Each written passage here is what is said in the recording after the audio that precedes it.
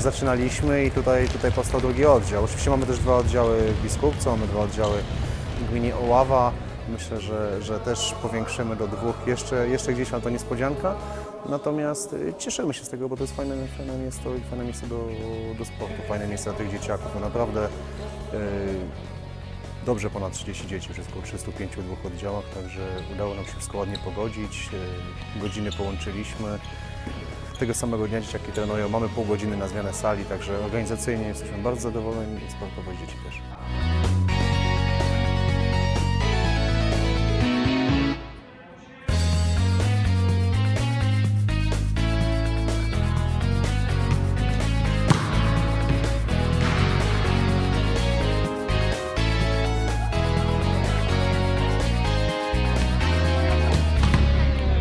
No zaskakuje nas każda wizyta w nowym oddziale, no bo coś nowego, inne dzieciaki, ale dzieciaki z wielkim potencjałem, bo, bo naprawdę te odbicia górą i dołem, które są ABC siatkówki, z zajęć na zajęcia wyglądają coraz lepiej.